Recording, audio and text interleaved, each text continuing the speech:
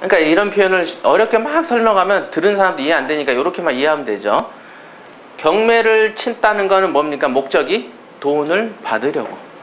돈을 받으려고 경매를 친 저축은행 입장에서 선순위한테 다 가고 먹을 게 없을 때는 어떻게 한다? 법원에서 경매를 치지 않는다. 매각을 진행하지 않는다. 따지고 보면 너무 당연한 표현이죠. 왜? 이 두 사람은 둘 다 이자는 또박또박 잘 받고 있었다 이거예요. 아, 1순위와 2순위는 경매를 안 쳐도 된다라고 생각하고 있었어요. 근데 3순위가 경매를 쳐버리니까 본의 아니게 계약 관계가 깨지게 되죠. 그죠? 그러니까 선순위의 이익을 해치게 된다 이겁니다.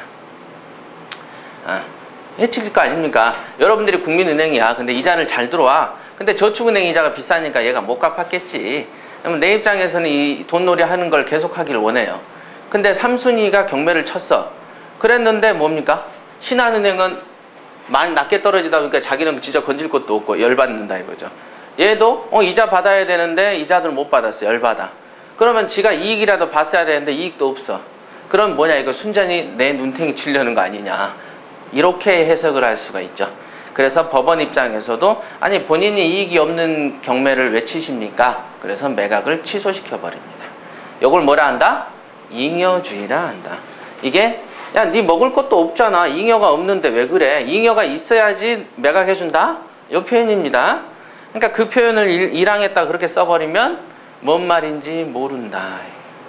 그 표현이 바로 이 표현입니다. 저도 이 표현을 기준으로 설명하려니까 설명이 안 된다. 이렇게 설명하면 어, 이해되죠? 예, 이겁니다. 그러니까 경매를 친 사람이 먹을 것도 없으면서 남의 그릇 깬다 이거죠.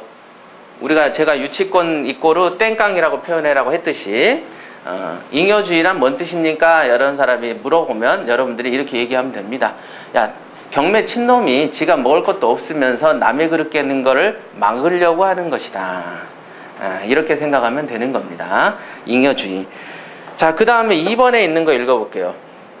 매각 부동산 위에 모든 저당권은 어떻게 된다? 소멸한다. 요 논리입니다. 요 논리. 아, 저당권은 소멸한데 이게 법에 적혀 있습니다. 그래서 뭐라고 한다? 표현이 말소 기준 권리라고 한다. 왜? 제가 그래서 이제 저당권 옆에는 써놓으세요. 폭탄. 폭탄이 터지면 뒤에 놈이 원래 주변 놈도 같이 죽는데 요 폭탄이 희한하게 뒤에 놈만 죽여. 그러니까 도미노 게임 생각하면 되겠다. 도미노. 도미노 이렇게 세워놨다가 이렇게 해서 무너지면 뒤에부터 확 무너지잖아요. 어, 그런 거. 그러니까 저당 근저당은 폭탄이나 도미노 게임처럼 지 뒤에 지도 죽어요. 지도 죽고 뒤에 놈도 따라라라락 넘어뜨려. 아 이게 저당권의 효력이구나. 그거 근거가 어디 있습니까? 저당권은 민법에 대해서는 이런 게 없던데요. 민법에서는 자 민사집행법의 90조 2항에가 이 근거가 있는 겁니다. 아, 매각 부동산 위의 모든 저당권은 모든 즉 선순위든 후순위든 제일 앞에 있든 늦게 있든 모든 어, 떤 거는 빼고 이런 표현 있습니까? 없습니다. 그러니까 저당권은 애초에 싸그리 없어져 버린다. 저당권이 없으니까 근저당도 없어지겠죠. 예. 그럼 저당권과 비슷한 효력이 있는 게 있습니다. 그게 담보가등기라고 합니다. 담보 가등기 비슷하죠. 어떤 거냐 담보 가등기가 자 채, 채무자 집을 그렸을 땐 집, 집 소유자는 항상 채무자죠. 채권자 집을 그릴 이유가 없잖아 내가. 여기는 채권자는 집이 없어서 안 그려놓은 게 아닙니다. 돈, 돈이 많은 사람. 자, 채무자가 채권자한테 1억 원을 빌려주라고 합니다. 그럼 채권자는 뭐라고 얘기를 하죠? 네, 차용증 한번 쓰시죠. 이런 케이스가 있을 수 있고. 두 번째는 뭐였습니까? 야, 차용증만 쓴 사람이 돈을 받는 데까지 근 2년 걸리더라. 제가 분명히 설명해 드렸습니다. 그러는데 근저당이 있는 사람은 1년 정도 걸립니다. 그러면 항상 그랬죠. 우리가 남한테 돈을 빌릴 때는 뭘 써라? 차용증만 쓰면 됩니다. 야, 친구 사이 왜 이래? 나 못 믿어? 이렇게 한마디 하고 근저당에는 뭐라고 합니까? 내가 돈을 빌려줄 때는 아 내가 빌릴 때는 내가 빌릴 때는 차용증이고 빌려줄 때는 근저당.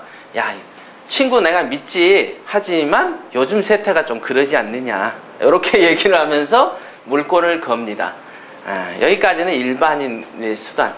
그 다음에 있는 게 담보가등기입니다. 이제 가장 유리한 거죠.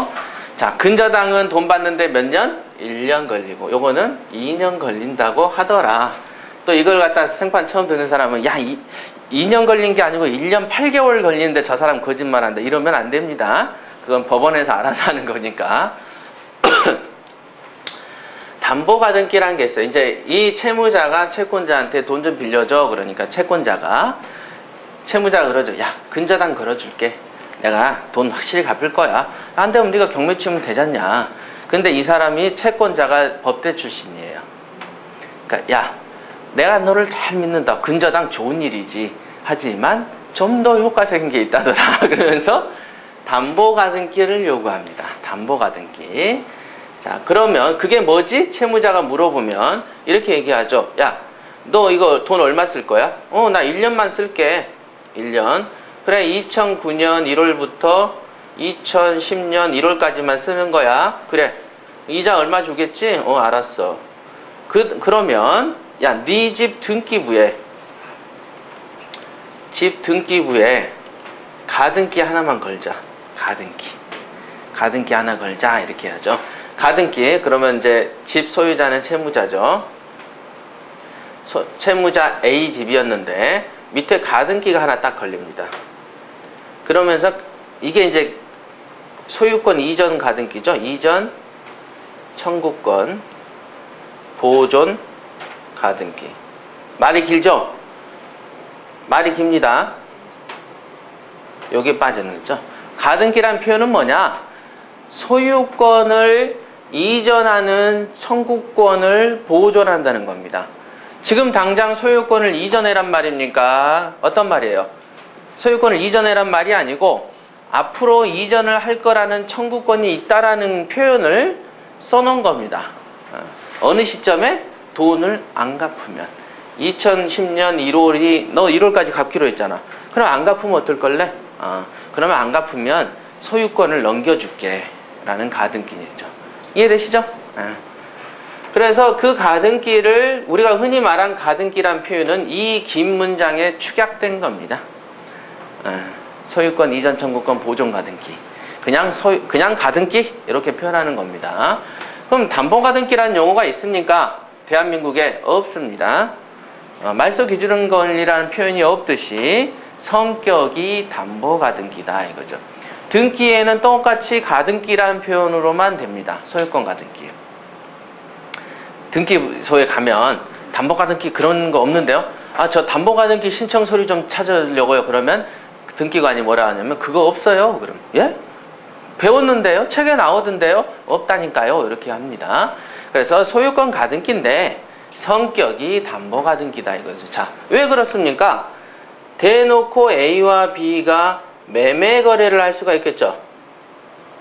매매, 사고 파는 거래를 할 때는 당연히 소유권 가등기죠. 그런데 지금처럼 돈을 빌려주는 채권 채무 관계일 수 있잖아요. 어, 나는 그 이 채권자는 채무자 집을 살려고 계약한 게 아니에요. 살려고 계약했으면 매매 거래에 관한 계약서를 작성하고 계약금, 잔금 뭐 이런 일정을 짜야 되는데 그런 거를 쓴 적이 없죠. 뭘 썼습니까? 1억에 빌려줬다는 차용증을 썼죠. 차용증을 작성을 하고 언제까지 갚을 거지? 예. 안 갚으면 어떡할래? 집, 집 줄게요, 집. 그런 표현으로, 그러니까 약간의 회피 수단이죠. 즉, 이런 걸 표현으로 담보 가등기라 한다더라. 자, 담보 가등기에 관한 설명은 이 정도 설명하면은 법대 교수들도 이 정도 이상 못 합니다. 법에 있는 그 내용 그대로니까. 그러니까 우리나라에는 가등기라는 건 하나밖에 없다더라. 하지만 용법에 따라서 매매 거래를 할 때가 진짜로 쓰는 법이고 우리가 전세권에서도 배웠죠. 어, 말이 전세라고 하지만 실제적인 전세는 물권적 전세만 전세고 나머지는 임대차더라 이렇게 하듯이 가등기 하면은 소유권 가등기가 원래인데 매매도 아니고 이렇게 채권 채무 관계가 있을 때 이루어지는 가등기도 있다더라 이렇게 그렇게 얘기를 한 다음에 가등기를 딸란 겁니다.